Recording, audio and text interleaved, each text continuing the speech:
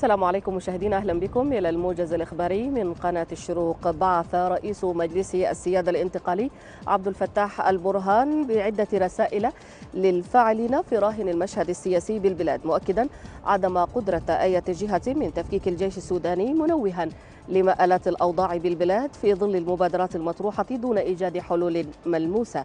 جاء ذلك خلال كلمته التي ألقاها صباح اليوم بقاعدة حطاب شمال العاصمة السودانية الخرطوم. افتتح ولي شمال دارفور نمر محمد عبد الرحمن نافذة تامج للصرافة المحدودة التي تعتبر الوكيل الحصري عن شركة ويسترن يونيون لترقية وتطوير المعاملات المالية بالولاية. وقال نمر خلال مخاطبته الحفل الذي أقيم على شرف المناسبة. إنهم يولون قضية الإنعاش الاقتصادي بالولاية اهتماما كبيرا معبرا عن تقديره للجهود التي ظلت تبذلها الشركة تجاه خدمات النقد الأجنبي في البلاد خاصة أنها تسهل على المواطنين استلام الأموال والتحويلات الخارجية مما يسهم في إنعاش الاقتصاد بالولاية. أكد بيتر لوانغ رئيس بعثة بنك التنمية الأفريقي مدير قطاع شمال وشرق إفريقيا. التزامهم باستكمال المشروعات الخدمية في مجالات الصحة والتعليم والمياه بمحلية السلام بولاية النيل الأبيض. في إطار مشروع بناء القدرات الذي ينفذه البنك من أجل تقديم خدمات شاملة. جاء ذلك لدى وقوفه عصر أمس على مراحل سير تنفيذ العمل بالمراكز الصحية بمنطقتي محبوبة والزليط بمحلية السلام. تعهد ولي غرب دارفور خميس عبد الله بكر بتوفير الخدمات الضرورية للمواطنين بالمحليات. جاء ذلك لدى زيارته أمس لمحلية فوربرينغا والتي تأتي ضمن سلسلة زياراته للمحليات الجنوبية للولاية. بهدف الوقوف على الأوضاع الأمنية والاستماع إلى قضايا المواطنين فيما يتعلق بالموسم الزراعي وتهيئة المناخ لعودة النازحين لقراهم والسعي لمعالجة ومتابعة الحلول لتلك القضايا بالتنسيق مع السلطات المعنية على المستويين المحلي والقومي.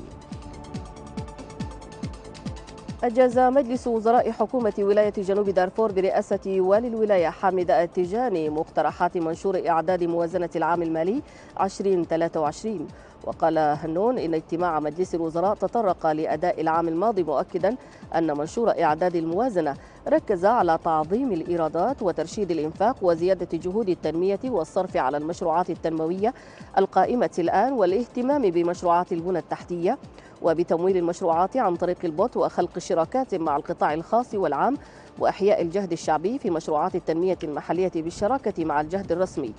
وأضاف هنون أنه رغم الظروف والتحديات الاقتصادية الكبيرة إلا أن الولاية تشهد تنفيذ مشروعات كبيرة في البنى التحتية يأتي في مقدمتها كوبري السريف الفولاذي ورياضيا تأهل منتخب السودان تحت سن العشرين إلى نصف نهائي تصفيات بطولة السيكافا التي يستضيفها السودان متصدرا مجموعته بستة أو بسبعة نقاط عقب فوزه عصر أمس على بوروندي بهدف عبد الصمد منن بإستاد الهلال بأم درمان. وفي ذات المجموعة حقق منتخب جنوب السودان الفوز على منتخب جيبوتي على ملعب كوبر بهدف من ركلة جزاء حاصدا خمس نقاط. ليتأهل برفقة السودان إلى الدور المقبل.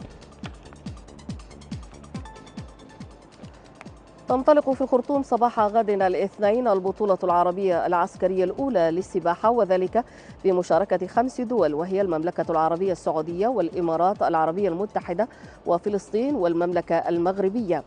وقال مدير فرع الرياضة العسكرية أحمد آدم يوسف في تصريحات صحفية إن البطولة العربية العسكرية الأولى تأتي برعاية رئاسة هيئة الأركان والنائب تدريب كاشفا عن عزم الإدارة تنظيم بطولة ألعاب القوى العام القادم. إذا مشاهدينا وصلنا وإياكم إلى ختام الموجز الإخباري من قناة الشروق. لكم منا تحية. السلام عليكم ورحمة الله.